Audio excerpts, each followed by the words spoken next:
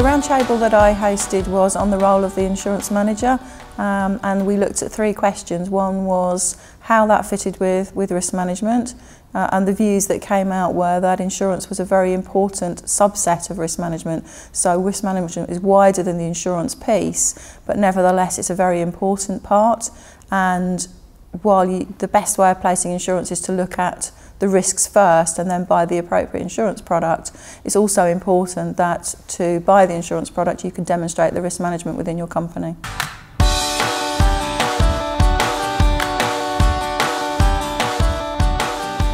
Um, there was, I guess there were there were several reactions. Um, I mean, the, the, the topic I think that got the most sort of challenge was how engaged your board should be with insurance purchase with some of the the, uh, the individuals thinking, yeah, absolutely, the board should know everything that's going on.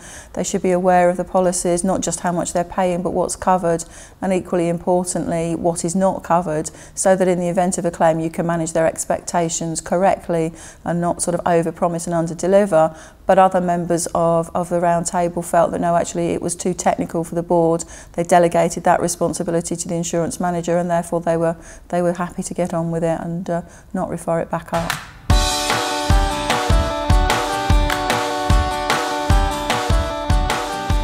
Think what came out actually is it depends very much upon your organisation. But, but nevertheless, there are learnings from some of the companies that other people can use. So, for example, where maybe you haven't involved the board very much in decision making, there's a, a growing awareness that specifically with some of the, that maybe the D&O cover, the board should really be aware of, of what it's there for and what it can do, but equally its limitations.